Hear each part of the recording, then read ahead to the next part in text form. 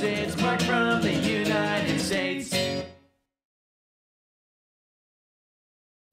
Good morning, good afternoon, good evening, Mark from the States. How we doing today? I'm doing fantastic.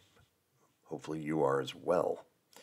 Uh, today, going on another walk.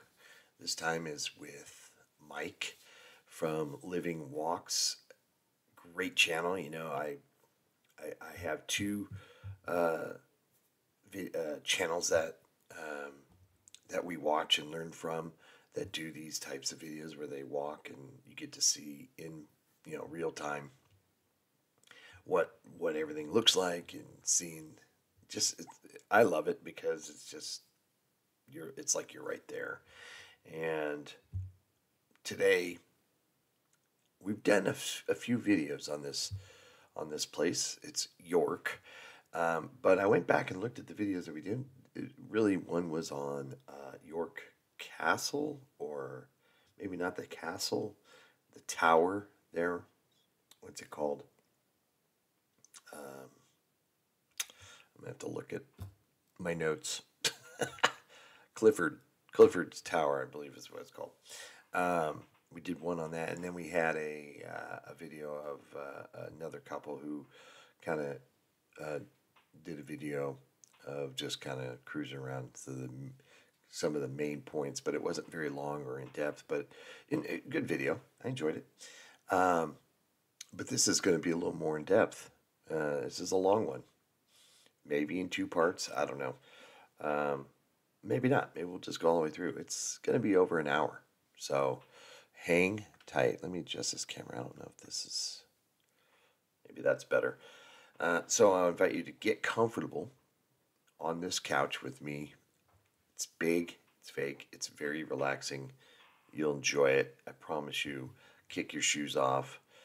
Um, the city of York with Mike. Mike, uh, please, all of you, go support his channel, Living Walks. The links, of course, are below, and to this video and to his channel.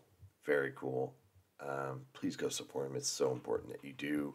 He has given us his blessing uh, a while back, and he's just uh, one of the channel's favorites. And I just hope, I just hope that we can support him in what he's doing. It's awesome. So it allows me to see new and I even though I've done a few videos on York, I'm going to see stuff today that I've never seen before, and then that's what's awesome. I'm sure we're going to hit up the, the spots that we have seen. We did a Christmas video, uh, a Christmas market video with Walking with Tim, who's also a great channel by the way. He did a Christmas market video, I believe, that we did from here, and he walked some of the places as well. But um, this is going to be special, so sit back, relax, and uh, let's do it. Hello, walkers. We're here in York. This is Britain's most haunted city. And it's also the site of so many bloody conquests. We had the vicious Vikings here, we had the Romans, we had the Normans.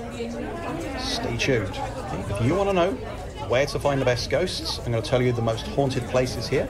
To tell you some of its gruesome history. And, you know, Clifford's Tower.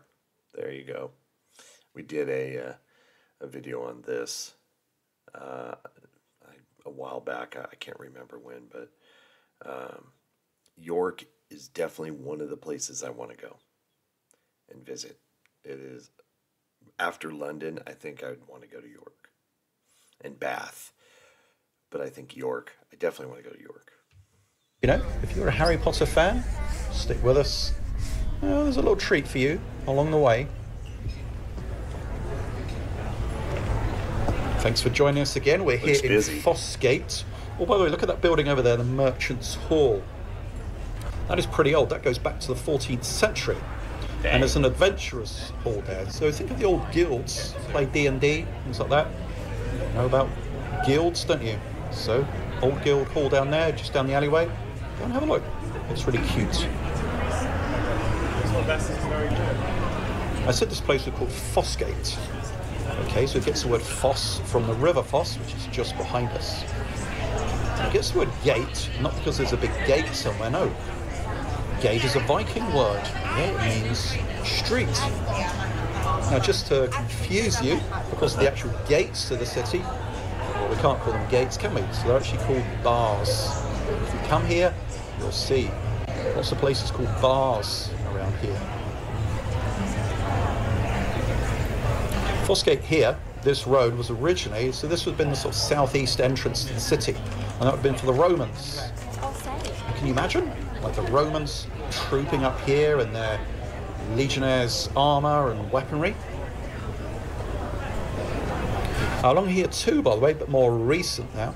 Uh, if you're into chocolate, like Rowntree's, a big British company in the past before it got taken over. But hey, you know, this is where they started from humble origins. There's a little chocolate factory down here, started in the 19th century. But today, look around you, this is a lovely place to come for uh, to eat, coffee. It's a lovely introduction to the city, particularly because we're not far from the Shambles, and that's almost directly overhead. We will be visiting the Shambles. You may have heard of them. Stay tuned. There's loads of stuff we're going to see. We're going to learn about violent history. You're going to see all the most haunted places. So when you come here, you can find them out for yourself. And we're just going to learn some weird facts. And there are some weird facts here. But just over there, It's very busy. I'm going to wait a second for this bus to go past. So you see a little sign there, those people are sitting on the wall. Little sign saying Whip My Watma Gate. A short street sign. Whip-Ma-Whop-Ma-Gate is an extremely short street, possibly the shortest in York. In fact, it's only 80 foot long. There you go, you can just see the sign there. It's an unusual name. Uh, it's first recorded in like the 1500s. And we think it might have meant something like neither one thing nor the other street. Makes sense.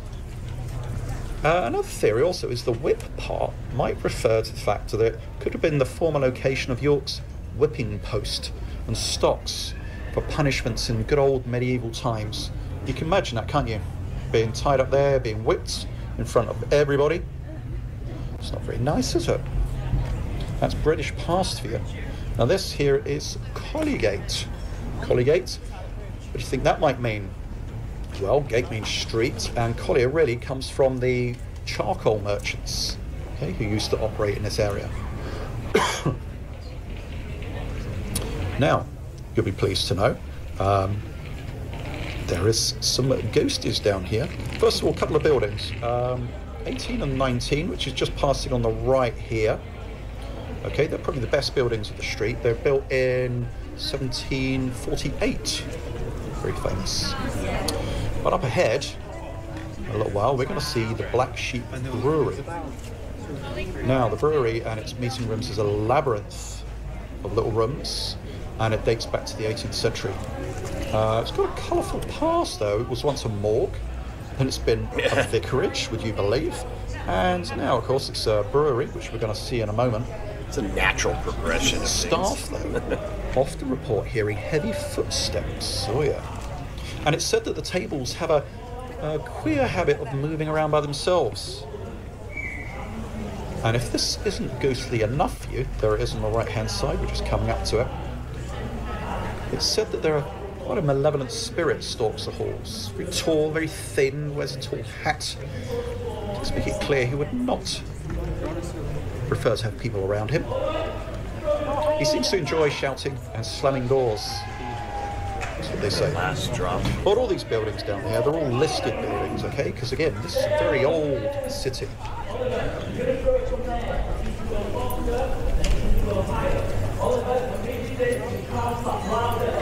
Now, This is always a great place to stop. There's always street entertainment going on here. One you see in the background there, uh, York's chocolate history. Uh, we're not going to be going in today, but it's quite well known. It's a chocolate museum.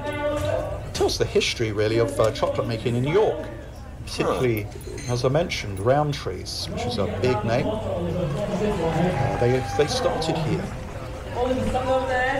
If you go in, uh, you'll learn all about the, the history of chocolate and its beginnings. Did you know it began in modern day Mexico? Would you believe that? That's right. And it spread. It spread to Britain and the rest of Europe.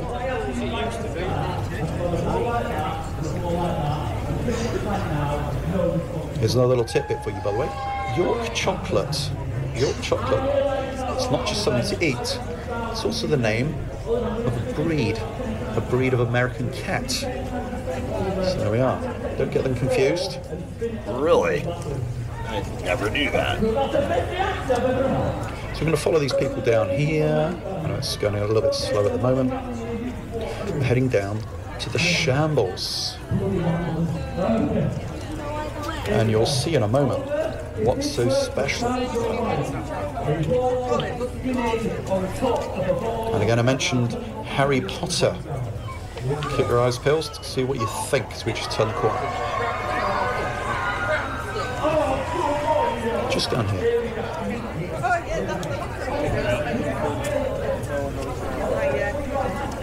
So See how all the buildings lean in? So cool, though. So cool. Well, so the shambles gets its name from the old Anglo-Saxon word means fleshammels, meaning streets of the butchers. That's right. It was once lined with butchers displaying meat. Check out the shops, by the way. You're going to see a lot of magic and Harry Potter themed shops down here. The York Ghost down here. So there used to be quite a lot of uh, butcher shops down here, over 30.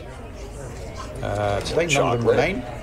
Because there used to be the slaughterhouses just behind them too, which was service and that were shut down. But uh, all these buildings overhang, and why do they do that? Because when you think about it, it wants to keep all the sun off the meat. Or number 10, by the way, which we just, uh, I think we're just passing, which is number 10, I think we just passed that. It's quite cute. So, um, it's got a little bit of Harry Potter ness about it. And in fact, if you look on Google Maps, uh, its address isn't number 10, the shambles. The address is 9 and 3 quarters, the shambles, which is quite cool. But something perhaps also they don't draw attention to is that it's thought to been the home of someone called Margaret Clitherow. She was a butcher's wife who was executed in, I think, the what, 1600s. And she I think we did a video on her. Didn't we do one with uh, History Squad? Excuse me. And Kevin Hicks. Didn't he? Didn't we do one with? I'm gonna have to go back and look, but the name sounds really familiar. She was doing that because she was harbouring Catholic priests. Yep, yep, yep, yep. She got like arrested. Incidentally, by the way, before she was executed, I believe she had a hand cut off. It was immensely cruel, isn't it? I think you can go and see that actually. You can go and see that somewhere. Uh, let me think. I think it's back in, um, yeah, Bar Convent. If you go there, I think you're going to find uh, they've kept her hands and probably in a little glass jar or something. That's weird. But anyway, let's come out here to the market. So these little alleyways that lead into this market are called snickelways.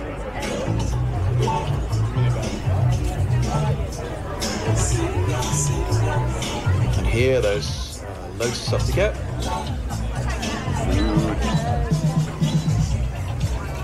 Wow. The Shambles uh, has been voted Britain's most uh, picturesque street. Really? Well, at least um, that was what, 10 years ago. And so it's connection with Harry Potter then. So people have said, you know what, it's a probable inspiration for Diagon Alley in Harry Potter books.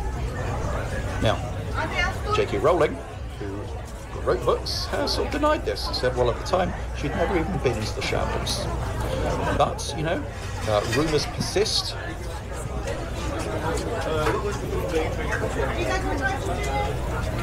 And to be fair, to be fair, the shambles does look like a movie set. I mean, it's crazy, but it's just awesome. At least from this side of the camera over here uh, or the computer screen. It looks it, it almost looks like it's not real. Hello. Hey, mate. How you doing? so this street here, so the Shambles, been known by other names. I think things like um, Haymonger, Haymonger Gate, uh, Nedler Gate, and the Great Flesh Shambles. You agree? The Shambles is a little bit easier to say now.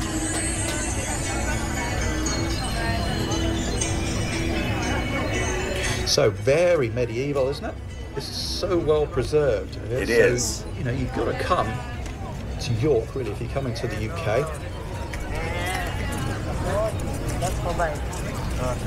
So Gert and Henry's here. This restaurant is a Grade Two listed building. Before he continues, I just know if and when I do get to York, I'm just going to be taking pictures of buildings, like just with the Tudor style. I'm just really fascinated by that architecture, and it's just all the different shapes and sizes. It's just awesome. It's just I just have a feeling I'm going to have just my my camera phone is just going to have so much uh, pictures of buildings, which probably wouldn't happen anywhere else. But I don't know. So far, I'm really enjoying this. It's it's such a unique place in a in, in a place in a country full of unique places. Is basically what I'm saying. The old part of it goes back to the 14th century, and it's been several things: a chemist, an art shop. Uh, I think it was a hatter's, some millineries. Now let's head down this way. It seems uh, it, it has seemed like it, it is very uh, well, just a lot of tourists, I'm sure. So, of course, places that are very popular and just full of interest and all those things, it's going to draw a lot of crowds for sure.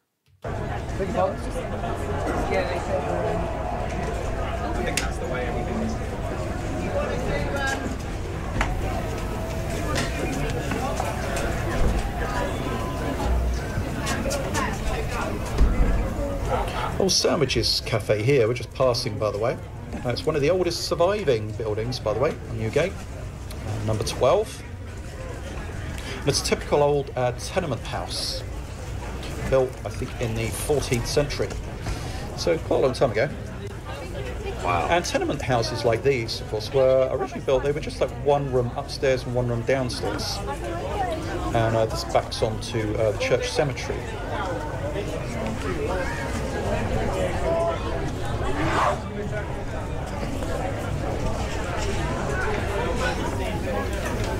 So people lived in very small buildings in the past. And of course, there may well have been more than one family, there have been several families there.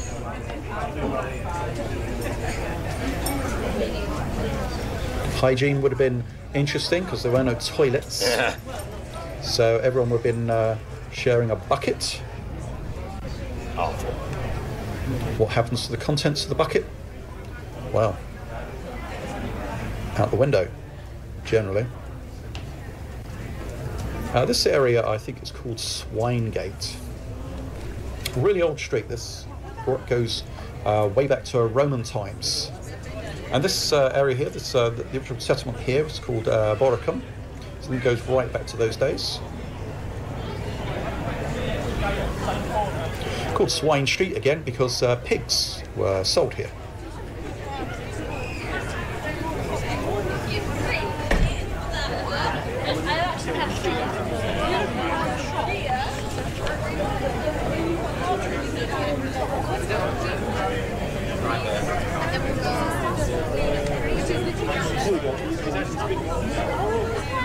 It's kind of the interesting things about York that you might not know, by the way.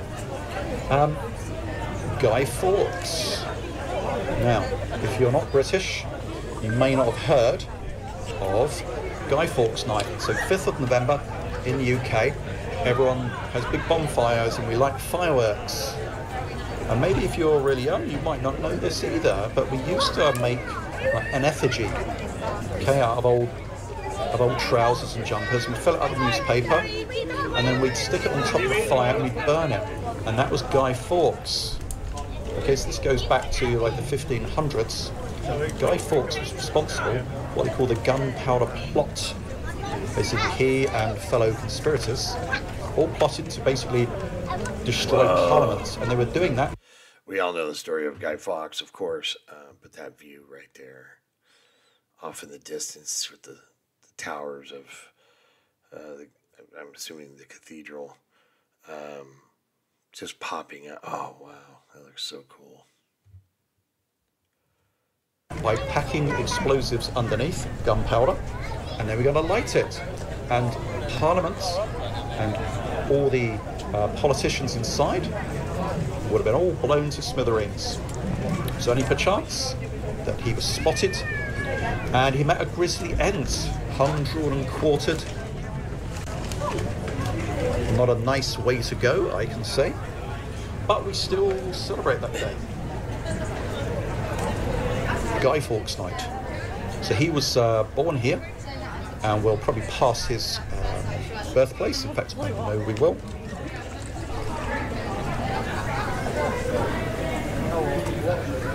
Now, this is nice walking around here because so many shops are still open.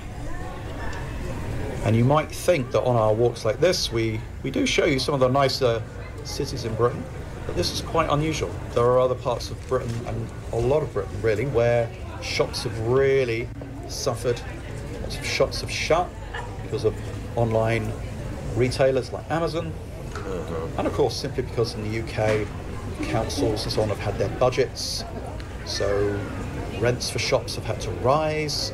And just so many people can't afford it. So coming down here, it's lovely to see all these shops healthy and happy. So So lower tourists. Petergate then. This is where we are.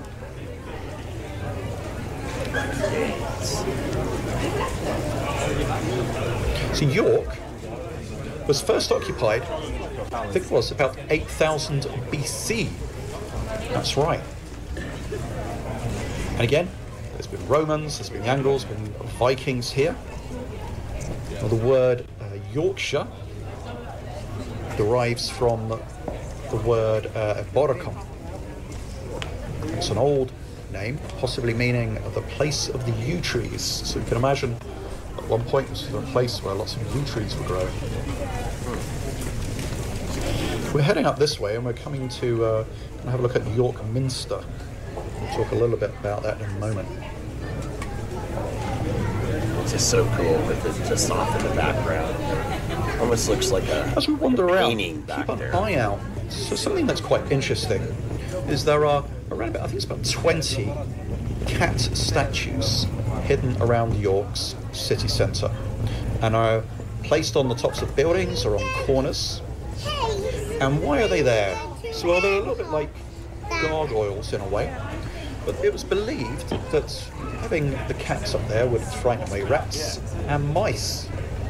And people knew at that time, they didn't know about germs, but they did know that rats and mice carried diseases. So that was the idea. So keep an eye out. Get a brownie point if you see a little cat statue somewhere. rock and roll barbecue. It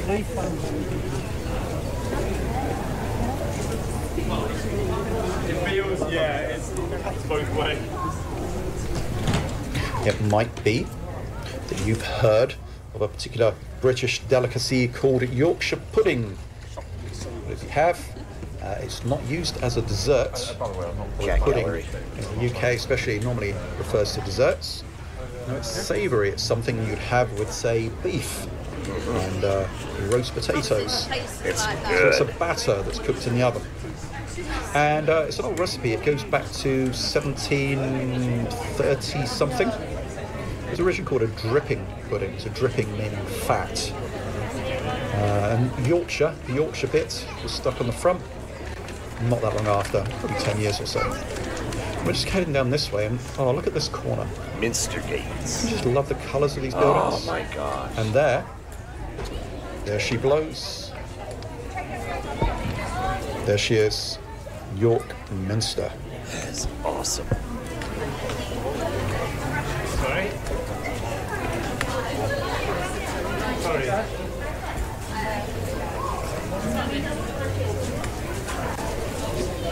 So it occupies the site. So it used to be uh, an important Roman basilica long ago.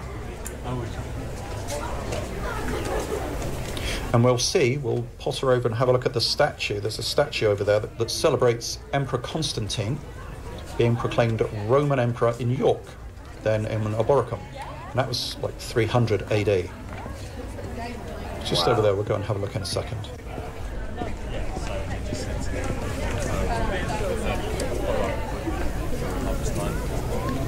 Now, even though it's made of brick, or made of stone rather, the cathedral has undergone a number of fires. A religious fanatic named Jonathan Martin, he set fire to cathedral in 1829. Completely gutted the interior. Lame. God, so beautiful. In 1984, was struck by lightning. Again, caused another devastating fire that collapsed the roof. What year? Collapsed the roof. Four. In 1984, Wow. was struck by lightning. Again, caused another devastating fire that collapsed the roof.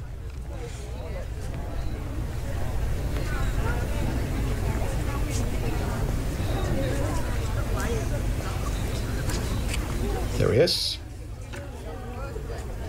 Constant. Constantine. Look at that. That There's so many fires here. 741, 1137, 1840. But it bounces back.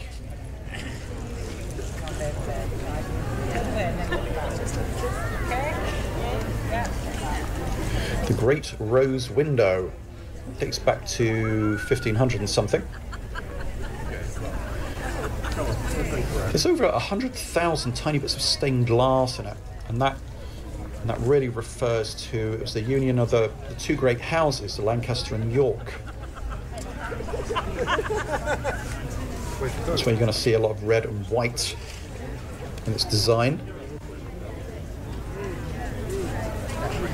The central tower of this is uh, over 230 feet high, and it weighs the equivalent of well, if you think of uh, the jets, jumbo jets, think of 40 of them.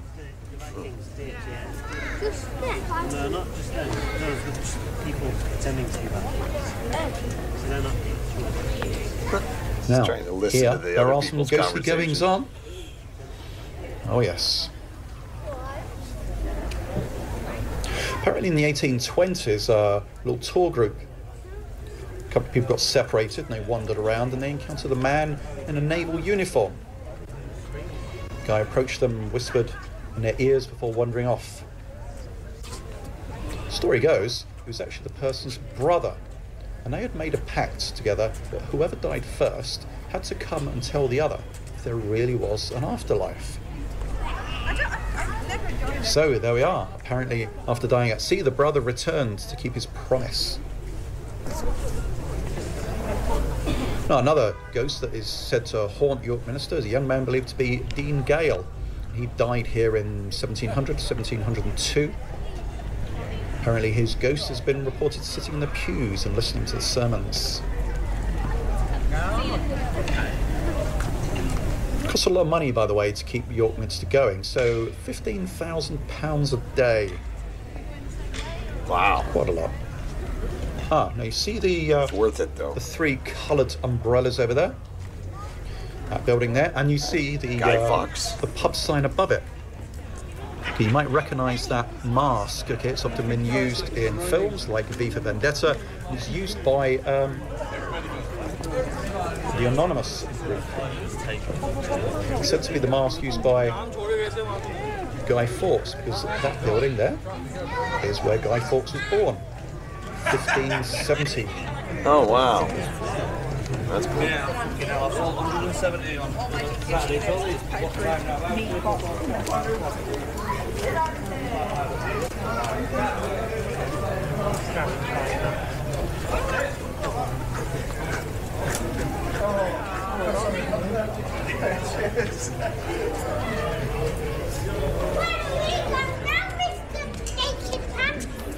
Mr. What?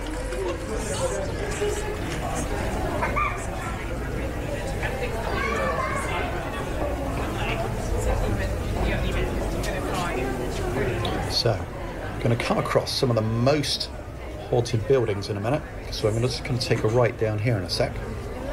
Down on Stonegate. Stonegate, well, it's got its name because, well, gate for road, stone. It was probably one of the first paved stone roads in York. And that was probably something to celebrate at the time because that was pretty unusual.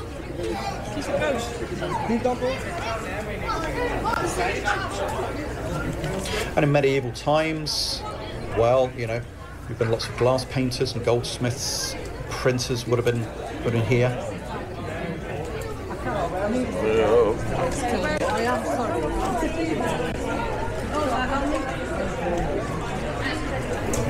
Now 35 Stonegate on the left over here, which is passing in a second.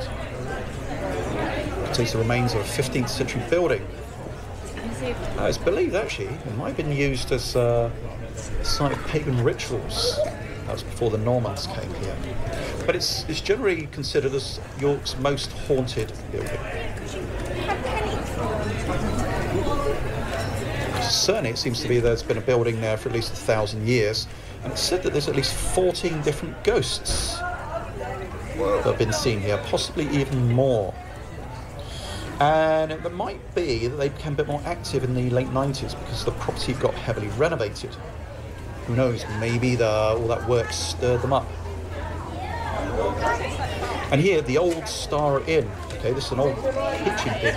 It goes back to 1644. But the cellars are thought to be a awful lot older, and it's the cellars themselves that are the focal point for hauntings. Many people have reported hearing the screams royalist soldiers. And not surprising, so if you look at records, records show that they they were actually used as makeshift hospitals for soldiers during the English Civil War. Now, some of the other paranormal activity that's linked to it include the old lady dressed in black, who's often seen walking down the stairs from the upper floors, and the two ghostly black cats who are seen around the barn. The legend says, and this is you might not want to hear this, but the cats were bricked up inside a pillar. That's right. See, there was a practice of bricking up cats in a building. It was quite superstitious, but it was hopefully said to uh, protect a building against fire and ill luck. It's not so lucky for the cats. For the it? cat, exactly. And even now, people say they bring their dogs into the bar only for them to growl at the one of the pillars there because of the bricked up cats.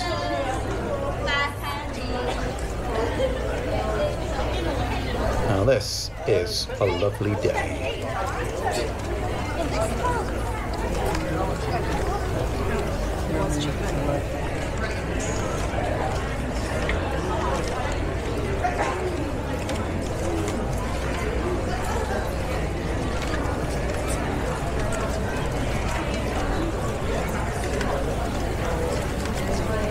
So you can walk round some of the highlights of York quite quickly.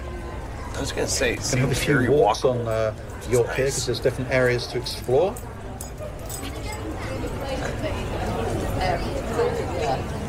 Look at all the history seeping out of these buildings.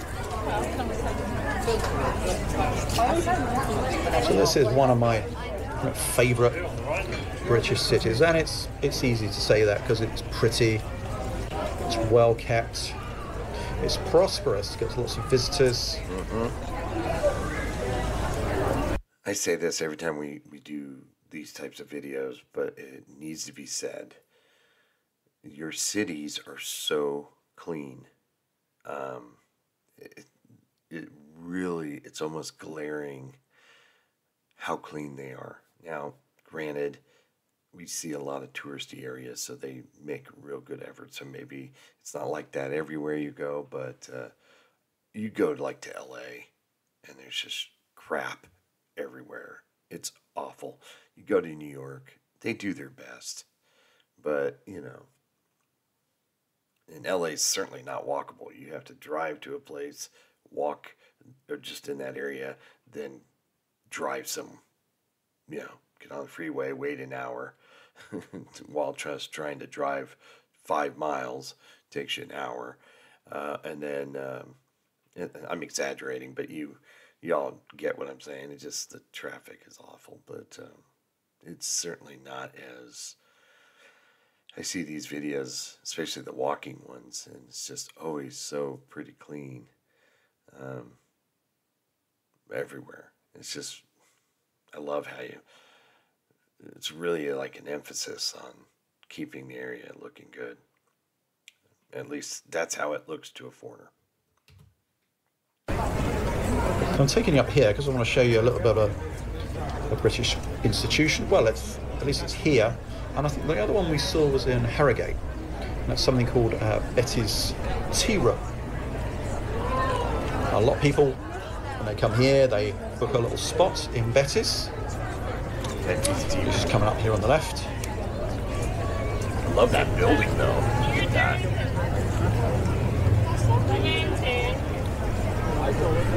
as you might gather, by something called Tea Room. It sells teas and cakes. Goes back to 1919 or so. Now, a lot of people will come here for afternoon tea. That's where you have a big stack of plates that have got various cakes and sandwiches on.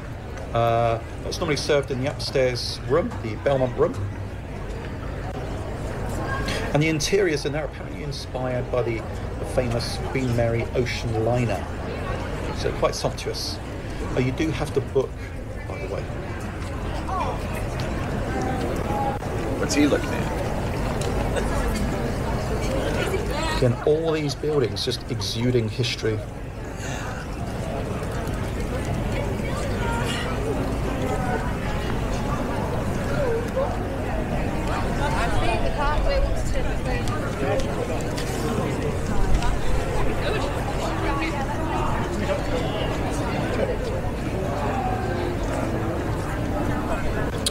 Here we're coming into is Coney Street.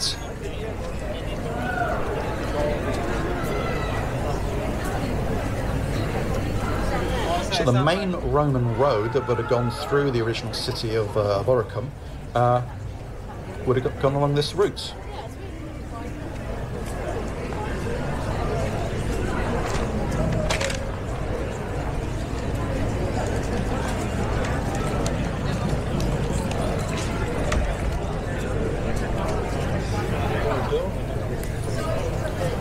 In the 12th century, Coney Street here was quite well known for its Jewish population.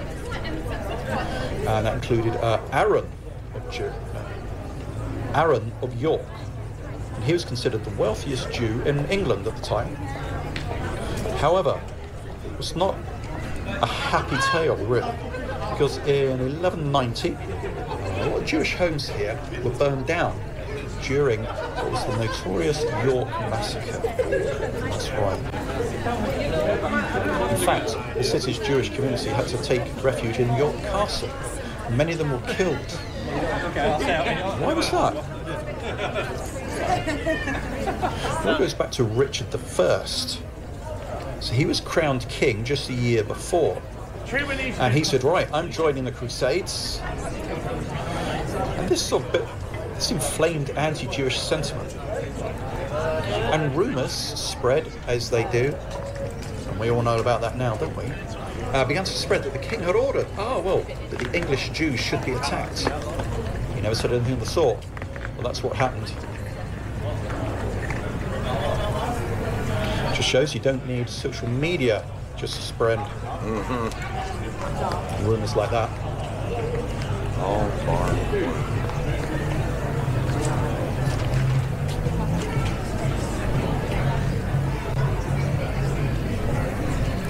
New Street.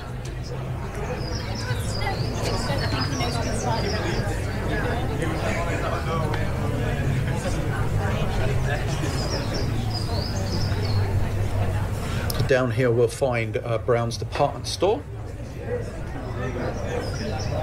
Yes. That's been around since 1900, so fairly old. And at the end, Davygate. So Davygate uh, originates from uh, a house or a hall that was there. That was owned by David. Uh, he was the king's larderer or keeper of the larder. Back in the 13th century.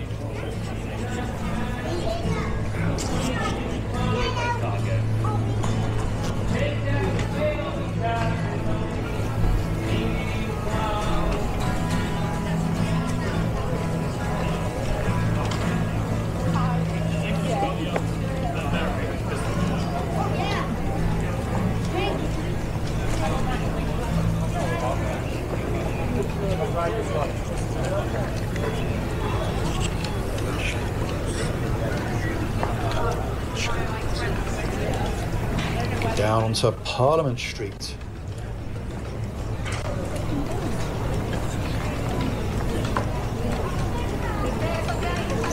So One thing I haven't seen is cars. Um, all just walking streets.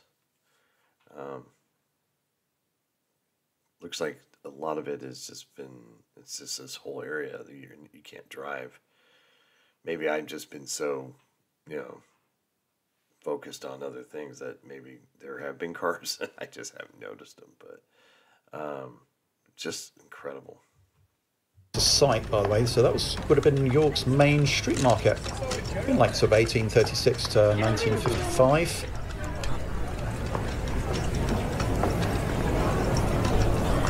And there would have been older houses there and shops that were basically swept away.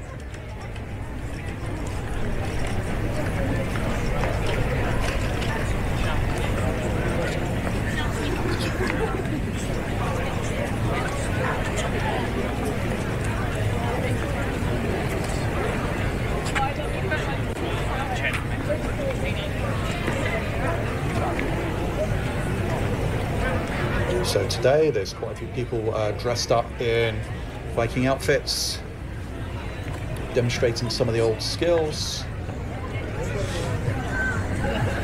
Oh, look at those flags. That's awesome.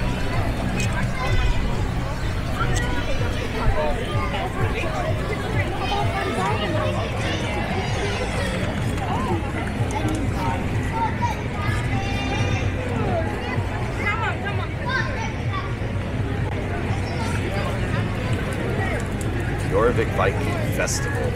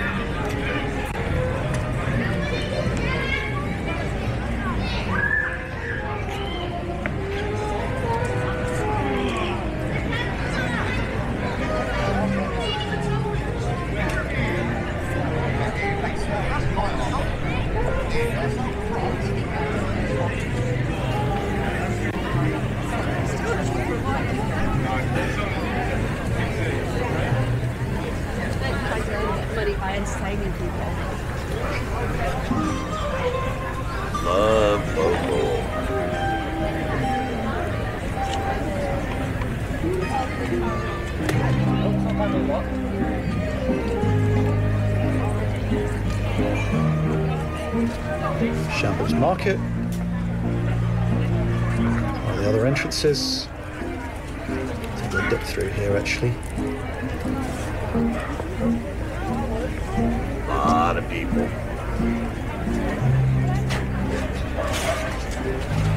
Hopefully the music won't get picked up by YouTube's algorithm. Hopefully.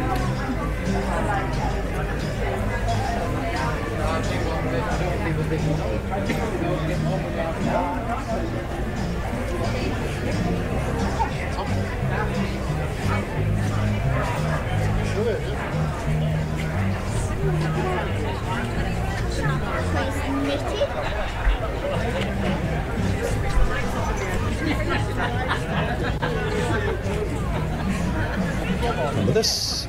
Earlier. Slightly different view.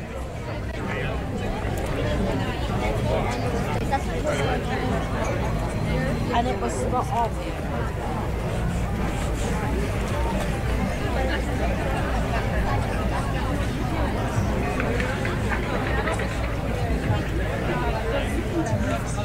So it's like a farmer's market Sorry. as well.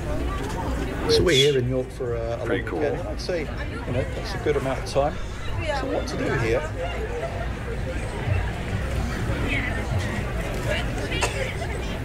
A lot of history.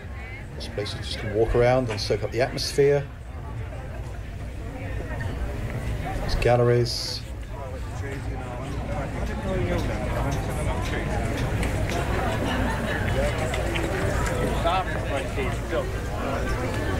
Castle Museum is uh, particularly good fun.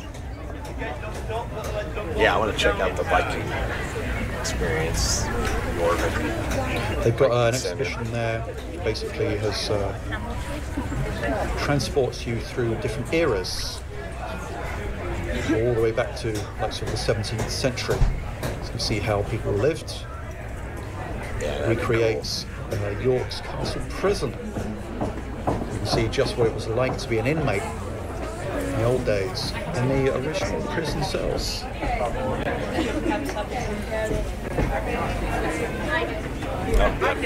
Now we're back. Back down here, the shambles.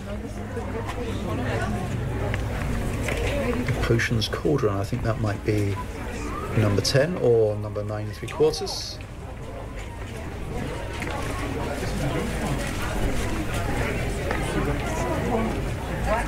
Oh, there's a guy down here earlier dressed in blue, I think it was, uh, collecting money for, I think it was Ukraine. And He's been here all day. So let's see if we see him again. Hats off to the man.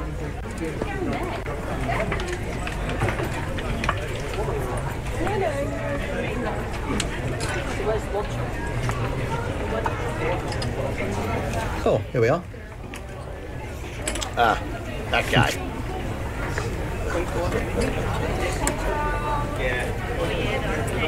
Yeah, you're right.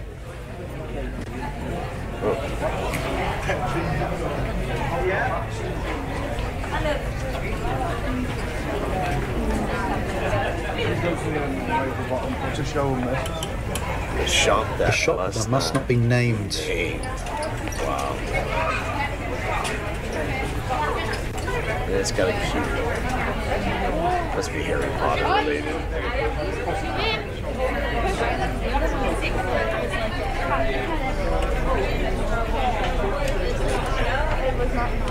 I'll tell you what, with these cobbles and brick streets, cobblestone streets and whatnot, it, it, would- to be in a wheelchair must be, you brutal.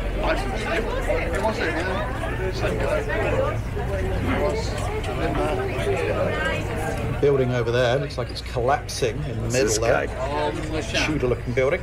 And you know it's Tudor because it's got the guy was black wood with a white in between. Kind of creepy. That pub over there Gold fleece. with the golden sheep just outside. That's the Golden Fleece. Goes back to the 16th century. Dang. Uh, yes. Rumored to be haunted. Sure. Most famous spook in there is Lady Alice Peckett, a wife of the former Lord Mayor.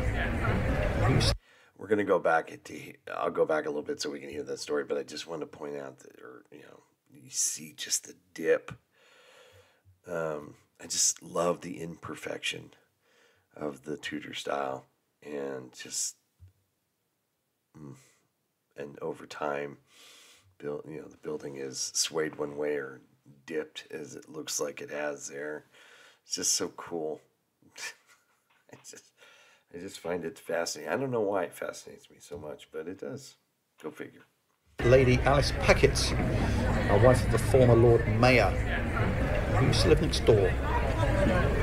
It's said that there are other ghosts there, a Canadian airman who fell to his death from the upstairs window. What was he doing? I don't know. Was he, try- he trying not to get caught? Who knows? And his old one-eyed Jack. chap who sits there in the bar with a pistol. His old 16th century coat, Good old one-eyed Jack. bright red. Let's head up here, High Ousegate.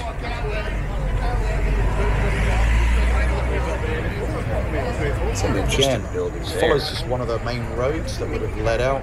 It says you've got more in your in your per, per square. Something like this, of course, has got lots of history. So it's not surprising they found evidence here of an old Roman bathhouse, temples nearby.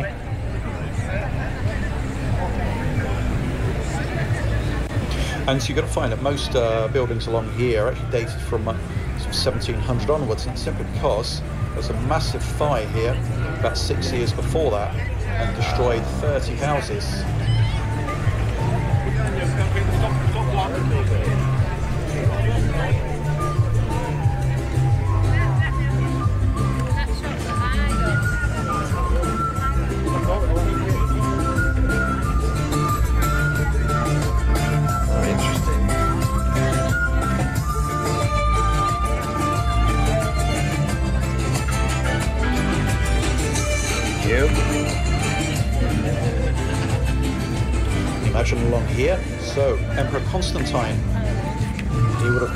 This road himself, Roman Emperor.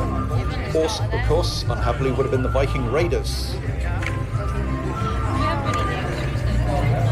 You don't really want to be on the welcoming end of a group of Viking raiders.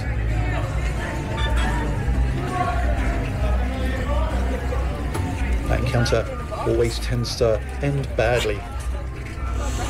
Job. Just across the road down here, we're going to find the uh, Jorvik Centre. Jorvik. Not Yarvik. I think I may have called it. So it's definitely worth going in. It's a bit like um, if you've ever done a dark ride tour where you sort of sit in a little seat and it moves around. Uh, well, basically, what they've done is recreated a Viking village, complete with all the smells and sounds. Oh, yes. Uh, but it's really fun. It's really dark, but it's really interesting. And it's, uh, love the umbrellas. 1650 when we went in. So that's for adults.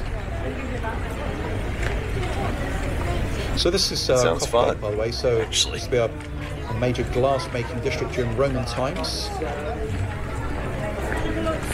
Got abandoned and then uh, really became part of the Viking town of Jorvik.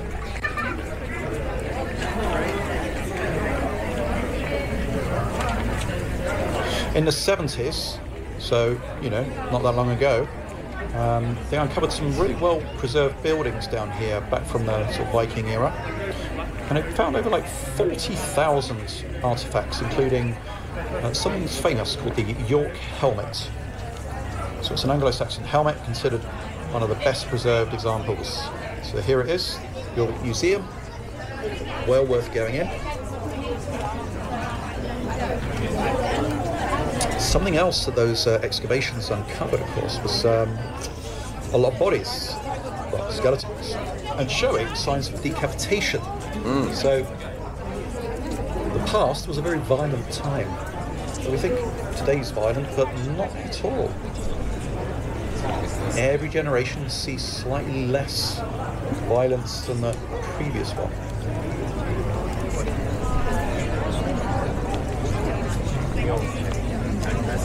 Cattle shed.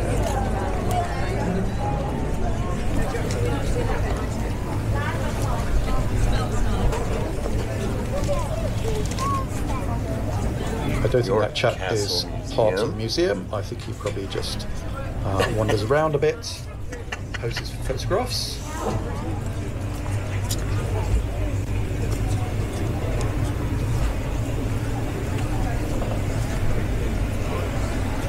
So I think up this way is Castlegate.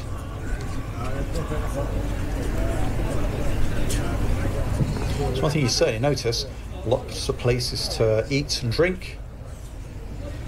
Uh, There's just been so many good coffee shops, because of course, I have to mention coffee.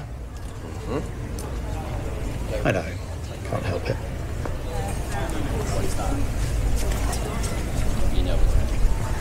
So I want us to lead us down to the, uh, the waterfront, to the quay.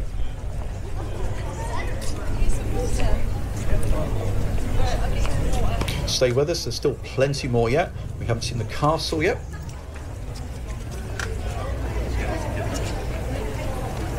The Castle Museum. We also want to see Clifford's Tower.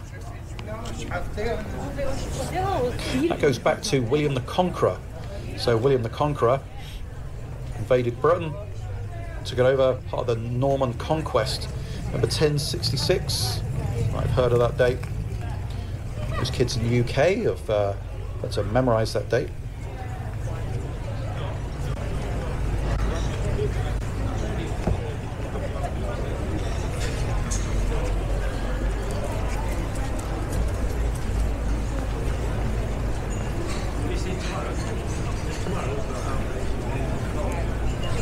Having their tea. Britain has been the subject of so many invasions over the years.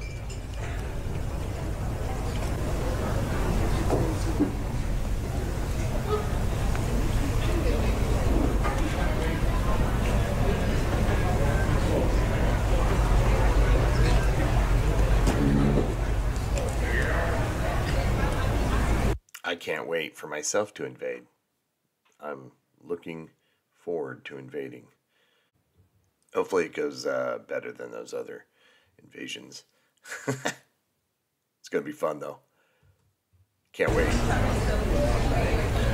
So we've been walking around about 50 minutes. Hasn't seen that way to go yet. So stay with us. There's too many places to pop in and have a, have a drink. That's like, it's like you have to spend a while, several days, for sure, to be able to just enjoy, not be rushed. Now down here. This is the way down to the quay.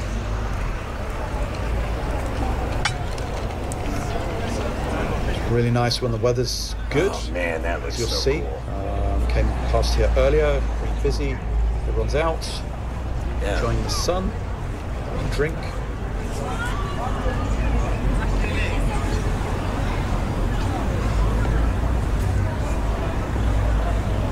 Just taking King Street down to King Staith.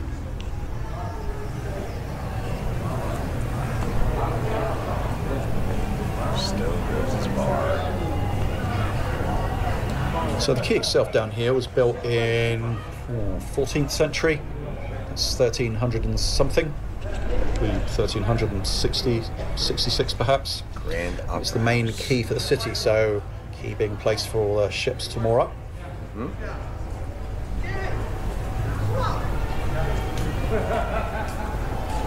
The street, by the way, still floods.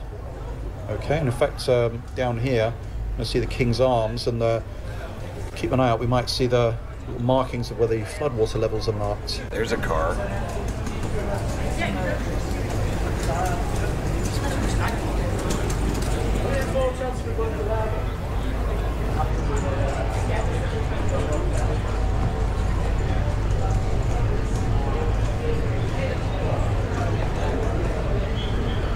His arms, there it is.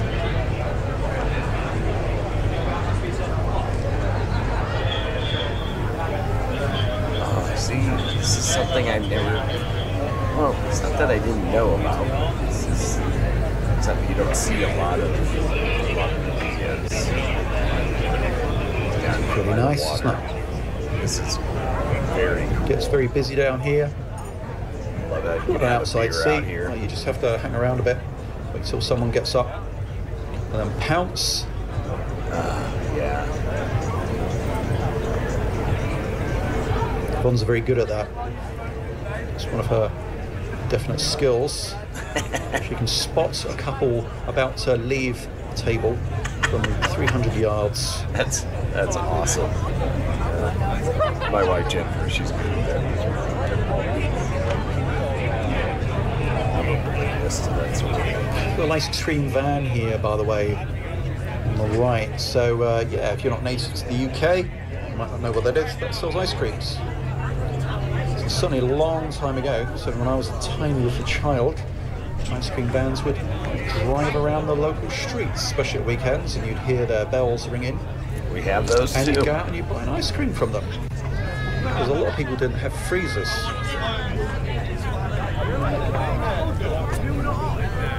Or if they did, well, you know, maybe they just didn't have ice creams at home. Curiously, where I live in the UK, I've started to hear them back again. So, a bit of a renaissance.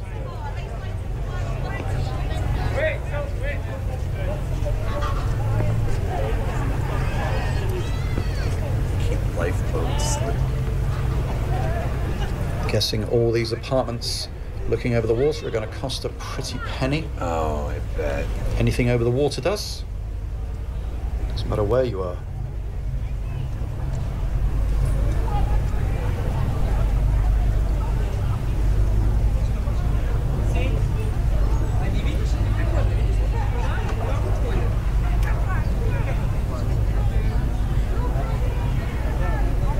Instead, if you're coming to York, give yourself a few days. Yes. You want at least two full days, I reckon.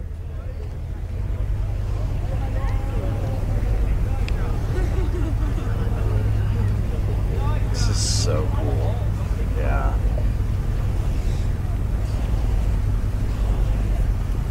I'd be j- interested to know what these cruises, where they go. Um, I'd be willing to get on one of these. Get a, just a different view. More, more end though behind it, cheaper size. See the people and see where they're from. So we're heading towards Clifford's Tower. There's a few uh, interesting laws, I think. Uh, you find it generally in uh, most countries, don't you, that have been sort of forgotten. Apparently, I think it's still legal. So apparently, and someone can correct me if I'm wrong, but if you're born in York, okay, you are permitted, you can shoot a Scotsman, that's right, someone from Scotland, a bow and arrow, from the top of Clifford's Tower. You have to do it on a Sunday. Of course, you have to do it on a Sunday. On a Sunday, But yep. apparently, that's legal. Of course, don't take my word for it. I'm not a lawyer, etc., etc.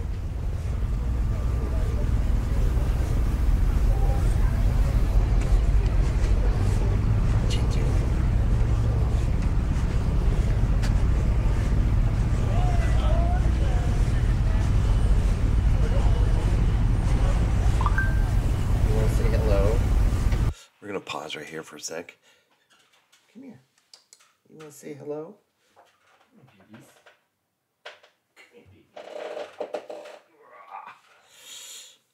Here's my girl. You want to say hello? Hey, yeah. How you doing, baby? You want to say hello?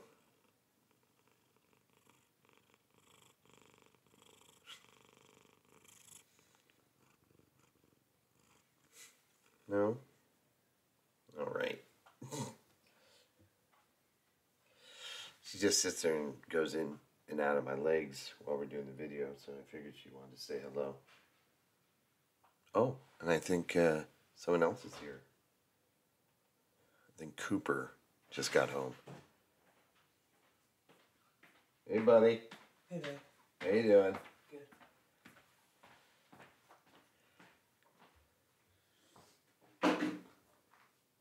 How was your night?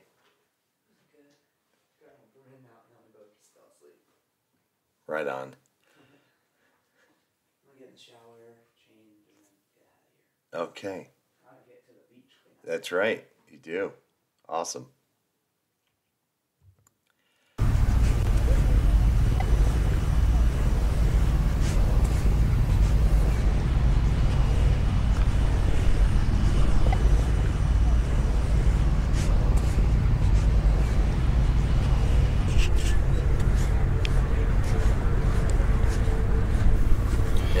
Cool past uh, the water. would have been Really the walls of the York Franciscan Friary.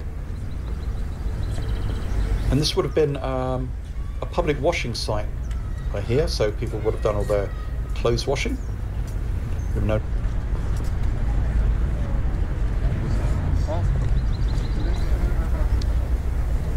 Makes sense, really. You're just by the river.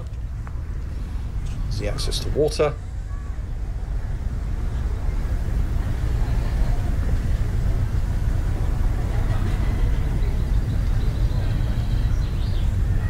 Nice little place to sit, relax. It's actually nice actually to walk under the trees because it has been quite warm. You might not be able to tell that by seeing what people are wearing. But when the sun's out, you can really feel it.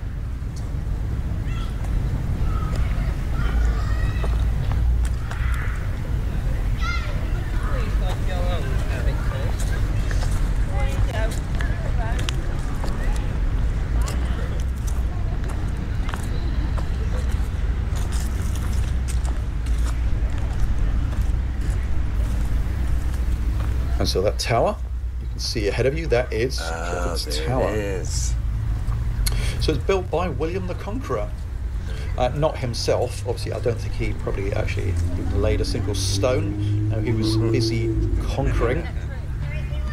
But it was part of York Castle. That was built in 1068, so almost immediately after the Norman invasion. And there was a, an artificial mound or motte. Mott. That's Tower right. is built on top. Oh, that is so cool. Now, it used Wow. to originally be uh, a wooden tower. If you remember, I was talking about in 1190 um, attack on the Jewish population here. And so the Jews here that were living here fled to the tower for safety. That's right.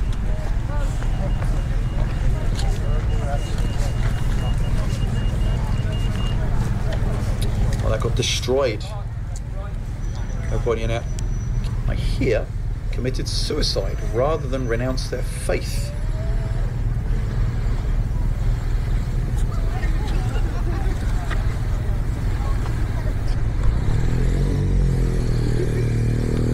Got that crack right down.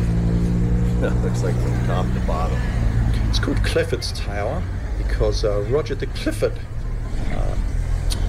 rebelled against King Edward II. He was executed for treason by being hanged in chains from the tower walls. That was in the 1300s, early 1300s.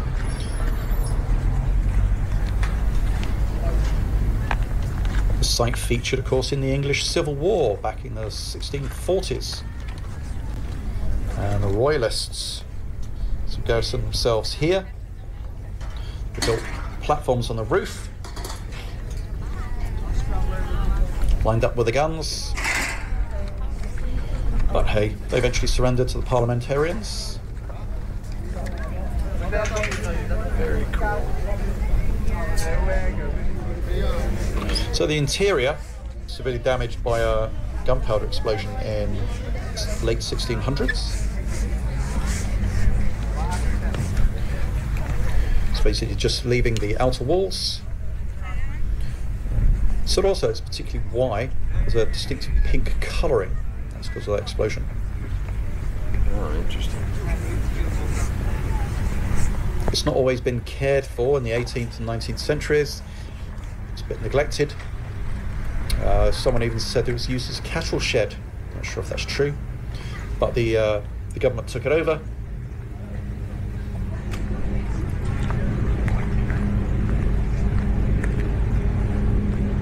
Castle Museum.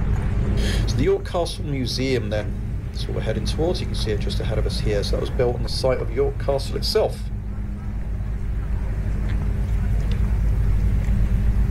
And the actual museum building uh, used to be part of the York Prison Complex, goes back to the sort of 18th century. It also includes the county jail where another famous name from British history, Dick Turpin, Yes. was in prison. So Dick Turpin, famous highwayman, used to rob people in the I've heard of that name. He was uh, executed in 1739. As I mentioned, though, There's an exhibition here. You can go and sit in some of the original cells and see what it would have been like for people. And Heading into, there's a go through the period rooms, and that's going to show you what it's like to live in different centuries. See how people lived in the past. There's also a little toy story thing showing you 150 years of childhood toys and games. But for now, I hope that's whet your Wow, appetite. very cool. York. Hope you make it here. Thanks for joining us. Until the next one, take care. I loved it. I loved it. Thank you, Mike, for allowing us to come along. Uh, just very enjoyable. Just it really does give you the impression you're there. And it's just I got to see, of course, the things that we've seen in other videos, shambles, um, but the and Clifford's Tower. We we've done a video on that as well, but never got to see here the museum. Never, I don't think I've ever seen the waterfront. Um, the uh, York Minster, yeah, briefly you see it, but not from the angles that I got. How it just sticks out from down the street. It just is like kind of takes your breath away in a way. It's it's just this is what this was awesome. This is I knew it was gonna be good when I saw this video, and I was like, oh, that's gonna be great because this York is definitely a place I want to go, and uh, this just has amplified that desire to go even more. Um, yes, the shambles looks amazing. Um, just, of course, the architecture, um, not just to the Tudors, which you know I love, but uh, all these others, like even the museum itself looks like an amazing day to hang out and, and see all of that. It's just oh, of course, the Jorvik Viking Center. I want to see that and um, just. Mm, I, w- I'm, I'm even interested in doing that river cruise thing, whatever that, wherever that takes you. I, I'm, I'm, it just gives you a different view uh, than you would normally get, and that's you know, if I'm gonna go here, um, you gotta have a couple days for sure, um, at least. At least I don't know if it'll be when I get to go to London if we can, you know, take the train, you know, up here and have a couple days up here. Um, I also want to see Bath, visit Bath, um, Bath, however you want to say it. Um, you know, there's just so many places I want to go. It's just, it's almost maddening because it's just like, where, where do I go? If I have to narrow it down, I mean, London, obviously, number one. And then hopefully maybe catch one of these also along with London or just a second trip to take you to these other places and just travel around. But you know we follow uh, good friends of Magic Geekdom and they just you know they live there for 6 months and we're able to do all these things. So that that's not going to happen for me but I mean that's if you really want to immerse yourself they they did it you know, and that would be the way to do it. But yeah, interesting. Great video. I hope you all enjoyed that. Hopefully, that was something you uh, really got into. I, yeah, I just want to go. Uh, I'm, you know what? I'm also grateful for all of you. Thank you for coming and hanging out with me today, and hopefully, you got to see something you didn't know, or maybe just saw something that uh, took you back to a time uh, in your past that you really enjoyed as well, or maybe even live here and it's fun seeing um, place you grew up or you know that you currently reside. It's it's pretty cool. It, it really is. Uh, thank you, Mike. Appreciate it. Uh, go support his channel, Living Walks. Uh, links below, please. Go and watch, support, like, subscribe, do what you do. That uh, makes you all very, very awesome people, and it helps him out. Really does helps these uh, original content creators, and uh, it's it, it, it we're paying it forward by going over there and helping and supporting it. So please do that. Hope everybody's happy, healthy, and safe. Have a wonderful, wonderful day. And uh, yeah. Right on. Bye. Mark from the States, Mark from the States, it's Mark. And he's from